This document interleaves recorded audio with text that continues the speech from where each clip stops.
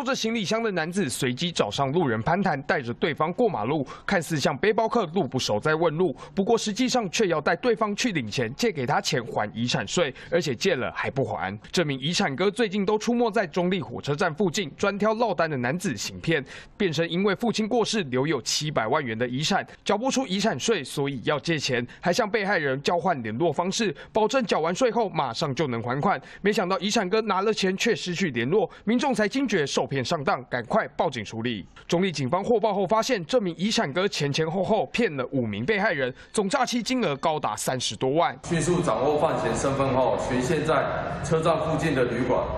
内查获有多笔通缉的刊险，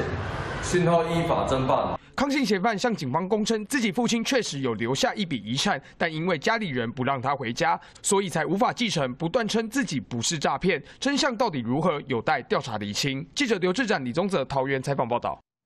我是方艳迪，主播工作让我学习倾听所有人的意见，也要保留自己的判断。也许我们无法踏遍所有土地，但能从新闻里看尽每一道风景。我是方艳迪，请您锁定中视 YouTube 频道，记得要按赞、订阅、分享，开启小铃铛哦。